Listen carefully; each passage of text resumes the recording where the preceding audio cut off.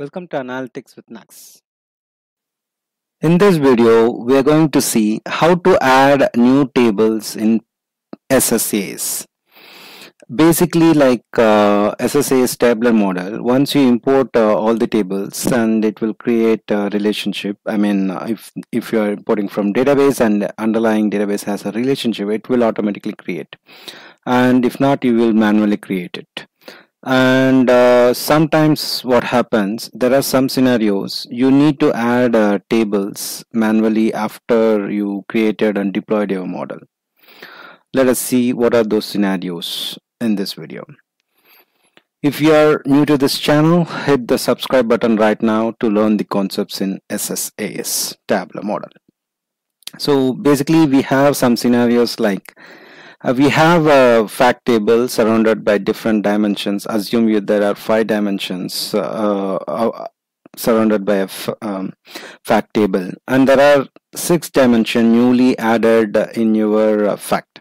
So at that time you need to add a table into your model then create relationship or if it is already exists you no need to do it and sometimes like after doing one of the fact and dimension you want to import other uh, uh, fact table and dimensions into a model. Maybe a, same data mart say sales domain and you have two different fact tables. For that you need to add in the same model. Another scenario is like you missed uh, uh, to add a table in the model then you need to add it. So there can be different scenarios. Basically you want to import a table after you created a model and deployed it. Okay? That is how where to choose this option. Let us see in this video. So this is our model and you can see uh, we have uh, some tables. I'm going to demonstrate only one scenario where you have missed one of the dimension and uh, the for all other scenarios it's going to be same.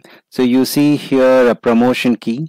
So this table has a promotion key but we have didn't added the dimension here. How to add it?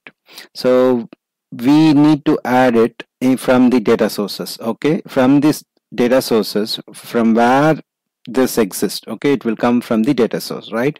So click on this table and import new tables so it will prompt for two options select from the list of tables and write a query that specify a data to import. Let's go for a default option. Then here we will choose uh, our table uh, what we need to import. Like we need a promotion that we have missed already then click on finish. So it's importing. It contains 16 rows. Let us click on it. Okay now you can see this is not uh, directly related. Uh, so we will try to create a relationship. So either you can drag and drop. I want to do it manually. So click on any of the table. If you right click on this uh, sheet it will not prompt you anything. Click on any of the table then click on create relationship. Now choose uh, column promotion uh, key with a fact table promotion key right? It is already uh, it's with because of the same name it has detected the relationship. Click on ok. This is fine. So this is how you need to import a table uh, miss a table. It can be a new um, dimension design as well. I mean to say uh, you you want to import uh, five to six tables then you can uh, design it easily over here. I mean you have imported another fact table with uh, two to three dimensions. That will be a separate fact and star schema that is not disturbing this existing star schema. That is also absolutely fine. You can but you can still view the same designs over here. If you like this video, hit the subscribe button right now to learn the concepts in SSAS and comment below for your queries. Do remember that data is your asset.